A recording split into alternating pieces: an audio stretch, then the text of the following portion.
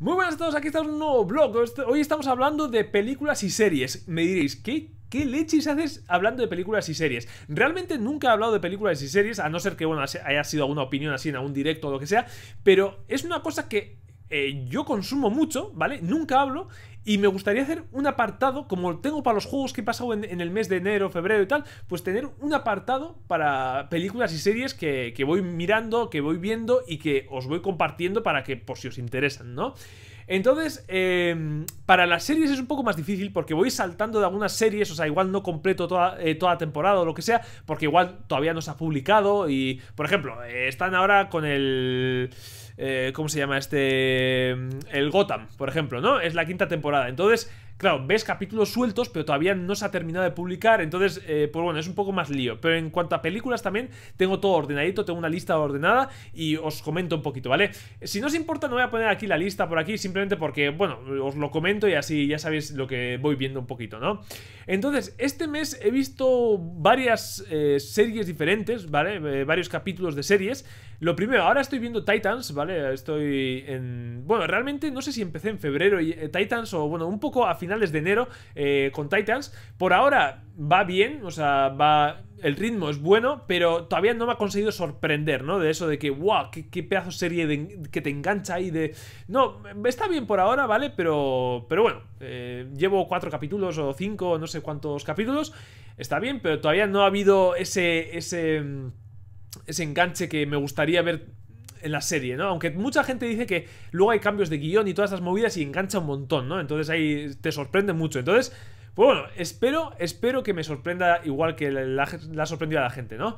Después hemos visto las cuatro primeras temporadas de Black Mirror. Eh, Black Mirror era una serie que llevaba ya desde 2011, si no me equivoco, eh, llevaba causando revuelo y yo no la había visto todavía y digo, venga, hay que verla, hay que verla.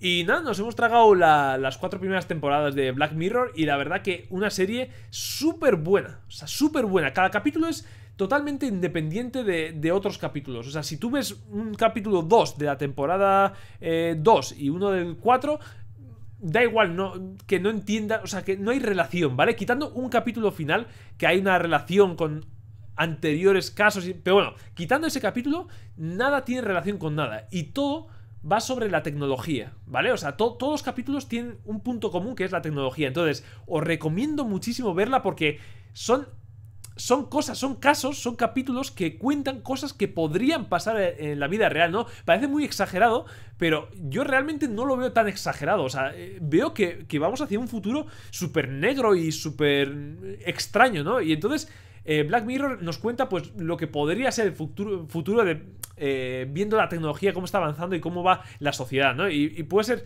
puede ser interesante, yo, yo os lo recomiendo, ¿vale?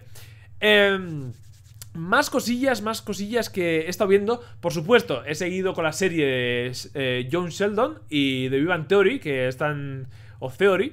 que están ahora ya en la doceava temporada, que ya van a terminar. Una de, una de mis series favoritas, o sea, he visto The Vivan Theory hasta saciar, pero, pero, pero no, os imagináis hasta qué punto. O sea, he repetido, es que no os imagináis hasta qué punto lo he visto. Y me da una pena que se termine impresionante. Hay gente que dice que no lo odia, hay gente que le encanta. Yo realmente, a mí me encanta. Eh, a mí me encanta, aunque sí que tengo que decir que las últimas 4 o 3 temporadas eh, debido a los cambios eh, que ha habido en la serie, de que han avanzado mucho, eh, vamos a decir que los personajes ya no son tan frikis, por decirlo de una forma así rápida, y ha perdido mucho el, enganche que tenían, la gracia que tenían, ¿no? para mí. Y se han vuelto como personas más normales, y entenderme normales no estoy diciendo que los otros, o sea, los frikis sean yo que sé qué, porque yo entraría dentro de esa, categoría de friki, ¿no? Entonces, a mí me encanta pues Star Wars, me encantan los videojuegos, los cómics, pues básicamente lo que les gusta a ellos, ¿no? Jugar a videojuegos, pues todas esas movidas, ¿no? Entonces, eh, cuando digo normal, cuando digo frikis, lo que sea, no digo en ningún momento con tono despectivo, porque yo me incluyo dentro de los frikis, ¿no? Entonces, bueno, me, me encanta The Ivan Theory. Y luego John Sheldon es eh, la versión de Sheldon Cooper, del protagonista de Ivan Theory, uno de los protagonistas, pero en versión joven, cuando era joven, ¿no? Eh, a mí me encanta esa serie y de hecho el que menos me gusta de la serie es Sheldon. O sea, realmente todas las personas que están alrededor, alrededor de Sheldon yo creo que son súper interesantes. Y Sheldon en sí, sí, a ver, bueno, es un niño un poco tocahuevos especial, pero realmente no me sorprende tanto, no me, no me llama tanto como todas las personas que están alrededor. Entonces, me ha sorprendido la serie en ese sentido, que yo iba a buscar a Sheldon y los demás me daban un poco igual y realmente me han acabado gustando todos los demás y Sheldon, pues bueno, está ahí, pero bueno, sin sorprender, ¿no? Entonces, eh, bueno, interesante. Otra serie que he terminado este, este enero es The Punisher, ¿vale? The Punisher eh, temporada 2. El 1 me encantó, el 2 me ha gustado bastante, un poquito menos que el primero, me ha sorprendido un poco menos, pero me ha encantado también el, segundo, con lo que totalmente recomendable. Como siempre, eh, bueno, a ver... Mm, hay giros de guion, pero tampoco te llega a sorprender mucho porque al final sabes cómo va a acabar la cosa, ¿no? Entonces, The Punisher es The Punisher y no le va a cambiar, no le va a cambiar ni Dios, ¿no? Entonces, yo creo que está muy bien representado The Punisher, eh, muy bestia. El actor, me encanta la elección del actor. Y, y bueno, poco más. Eh, ya veis un poquito lo que, lo que he visto ahora. Tengo un montón de series y capítulos por ver todavía. Tengo aquí marcados un montón de cosillas. Así que ya os iré comentando meses posteriores a ver qué, qué voy viendo. Y, y bueno, vamos a pasar a las películas en un momentito. Aquí están las películas. Y deciros que en el mes de enero he visto 3, 4, 5, 6, 7, 8 películas. Que es bastante, es bastante porque normalmente, últimamente, veo más serie que películas. O sea, las series, como tengo tantas series por terminar y además las series normalmente son largas, pues eh, te tienen más tiempo enganchado, ¿no? Entonces... Eh, empecé el mes eh, viendo Gris. ya, ya os acordáis de Gris. pues, bueno, esa película antigua, ya sabéis, de Travolta y tal. Eh, pues esa, eh, bueno, es una mítica. Eh, realmente, ostras, me impresionó verla ahora, ¿sabes? no sé. Tiene un tono un poco distinto a lo que recordaba de la película, pero bueno, está bien, es divertida, sin más, o sea, está, está guay. Y luego la típica, las típicas fases de, baile y cantar y tal, eso, pues bueno, eso es ya mítico, ¿no?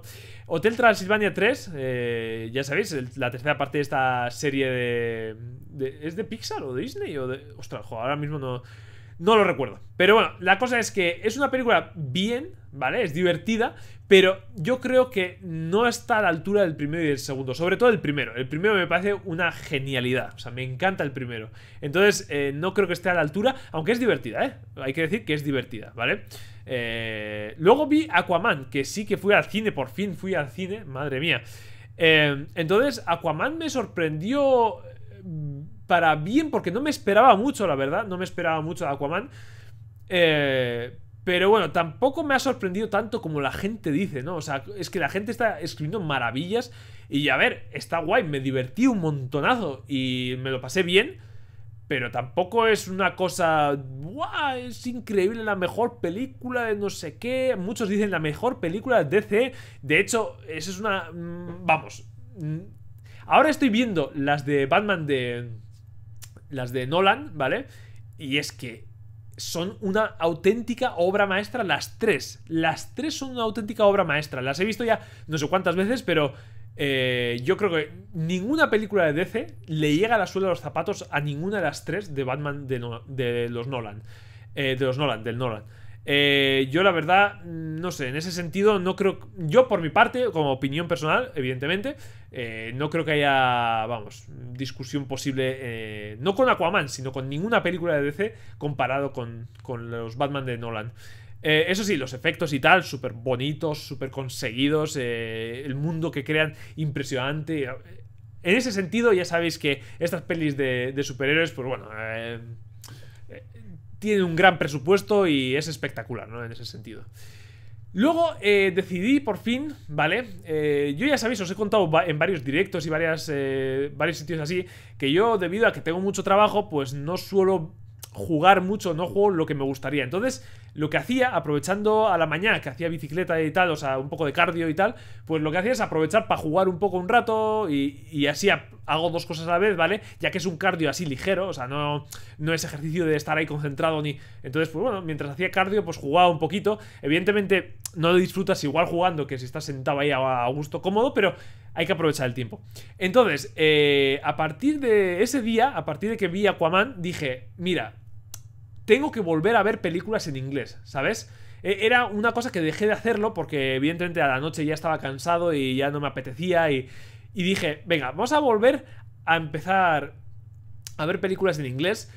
Y para eso lo que hice es cambiar la hora de juego de cardio que hacía, pues me pongo a hacer cardio, pero mientras veo películas en inglés. Entonces, eh, ahora, pues todas las pelis que he visto hasta ahora eh, son en inglés. Y por eso tengo tantas pelis que he visto, porque si no, no, no las hubiera visto seguramente. Entonces empecé con Avengers Infinity War. Eh, claro, cada peli me dura 2-3 días, porque claro, hago una hora de cardio, pues a nada que dure una, dos horas o tres la película, pues la reparto en 2-3 días.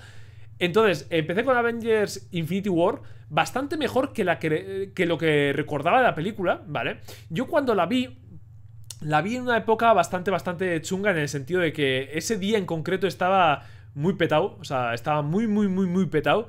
Y no la disfruté como la debía disfrutar. Además hay que decir también que eso añadido al hype que me generó la película, eh, pues fui con tantas expectativas que luego claro, eh, te esperas tanto la película que después igual, no, no es que te defraude, sino que dices, ah, pensaba, mm, yo qué sé, ¿sabes?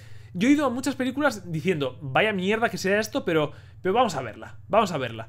Y de repente la he visto y, me ha encantado, ¿no? Y si vas con mucho, mucho, mucho, mucha ilusión, mucho hype, de repente, joder, es difícil de, de que una película te sorprenda por por encima de todo el hype que tienes, ¿no? Entonces, pues bueno, eso me pasó un poco con el Avengers, pero bueno, la volví a ver en inglés y la verdad que bastante mejor de lo que la recordaba. tampoco pienso que sea la mejor película de Marvel, pero sí que está bastante mejor de, que, de lo que recordaba la película. Luego, eh, al día siguiente vi un documental también, Indie Game The Movie. Esto lo vimos en clase, siempre todos los años me gusta poner este documental porque es... Eh, os recomiendo a todos eh, que lo veáis porque trata sobre un poco la, el desarrollo de juegos indie como podía ser eh, Super Meat Boy o, o, bueno, de, de Binding of Isaac o cualquiera de estos, ¿vale? Eh, entonces trata sobre cómo se creó, los problemas que tuvieron y todo eso. Y bueno, la verdad que es, es brutal. Bueno, da la casualidad de que el documental también está en inglés y está subtitulado castellano. Entonces, pues bueno, eh, también, bueno, se aprovechó ahí como para ver otro un poquito en, inglés, ¿no? Después de ese, eh, empecé y dije, voy a verme todas las de Batman seguidas. Y empecé, bueno, quitando la del 66. La del 66, me pesa demasiado. O sea, me pesa demasiado. Ya sé que hay gente que le encanta la del 66, pero no sé, a mí, yo la vi un día y... el tono no me gusta demasiado. Eh, entonces empecé con la del 89, que es la el, primer Batman, aparte de la del 66, el primer Batman que se hizo. Con este. Joder, no me acuerdo el nombre del actor. ¿Cómo se llamaba el nombre del actor? Eh. Joder, no lo recuerdo, tío. El que ahora hizo. ¡Ay, Dios! ¿Cómo? El Keaton. El Keaton este. Michael Keaton, ¿no? Creo que es. Michael Keaton, puede ser. Sí, yo creo que es ese. Pues eso, bueno, que empecé con ese a ver y la verdad que se nota mucho, mucho, mucho, mucho, joder, el, tono de la película, ¿no? O sea, el tono un poco desenfadado, un poco absurdo, entre comillas, un poco para críos, ¿vale? Que yo cuando lo veía en aquel entonces, para mí esos Batman eran brutales, o sea, yo la veía, estas pelis las veía una y otra vez, eran increíbles, ¿no? Pero ahora lo ves con otros ojos y, mira, el simple hecho de que, por ejemplo, cuando alguien pega a alguien o, salta a alguien sobre alguien y le ponen ese, esa, ese ruidito de como boing, así como... Esos no sé cómo se llaman, no son onomatopeyas, no son, son como ruiditos así como de, de dibujos animados, por decirlo de alguna forma, ¿no? Y ¡buah! le quitan toda la seriedad a lo que es la película. Y luego, aparte, otras cosas también que le quitan totalmente toda la seriedad de, del caballero oscuro que es Batman, ¿no? Entonces, eh, pues bueno la vi porque quería volver a verlas en inglés, por supuesto, pero un poco, un poco chustillas, un poco chustillas. Aunque bueno, sin más, eh, entretenidas, pero chustillas. Luego, evidentemente, me vi la siguiente, que es Batman Returns, que es de, del 92, ¿vale? Que también, bueno, sigue un poco Michael Keaton. Y, y nada, un poco con el pingüino, con, con este, ¿cómo se llama? Joder, es que para los nombres soy más malo. Este, ¿cómo se llama? El que... Eh, ay, joder, no me acuerdo, tío, no me acuerdo. No me acuerdo el nombre. Eh, lo tengo en la punta de la lengua, ¿eh? Ese que hizo con Arnold Schwarzenegger eh, dos gemelos y... Ostras, ¿qué, malo soy con los nombres. ¿Cómo es? los gemelos golpean dos veces. Coño, es que no. Mira que los nombres se me, van de la cabeza, ¿sabéis? Pues ese, eh, Danny DeVito. Coño, que no me salía el, el nombre. Entonces, eh, pues bueno, eh, un papel interesante el que tuvo, pero bueno, el tono de la película en general. Se nota mucho la, la influencia de Tim Burton. O sea, Tim Burton e, es la película. O sea, entonces. A mí el toque de Tim Burton, bueno, en ciertas películas igual sí, pero tampoco es que me, me encante, ¿no? Entonces, pues bueno, ese tono un poco infantil de la película, algunas cosillas. Pero bueno, generalmente me hizo ilusión volver a, mi infancia, ¿no? A ver esas películas que veía tanto, ¿no? Y luego, por último, en enero, porque en febrero ya me he visto otras dos películas ya, eh, pues en febrero, ahí en enero, eh, acabé con Batman Forever del 95, que en este sí que metieron a... Uh, joder. Bueno, al otro actor, que no me acuerdo el nombre, es que soy malísimo para los nombres. Eh, pues metieron al nuevo actor, eso sí, el de. Algunos actores se mantuvieron. Y. Y bueno, la peli. Buah, bueno, un poco del mismo estilo, ¿no? Básicamente hasta que salieron los de Nolan, eh, todos fueron un poco del mismo estilo, del, de...